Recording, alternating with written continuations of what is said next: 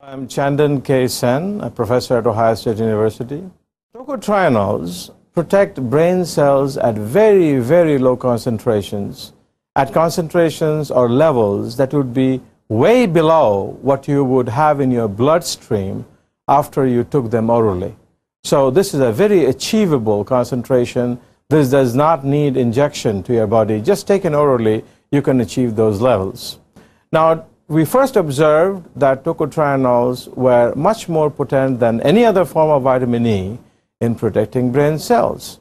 And then after that, after we are convinced that was the fact, we started figuring out the pathways by which it protects. And thanks to tocotrienol, we have now found uh, three to four novel pathways of neurodegeneration that tocotrienol helped elucidate and these new molecular checkpoints are now published in literature and could only be found because of investigations using tocotrienol.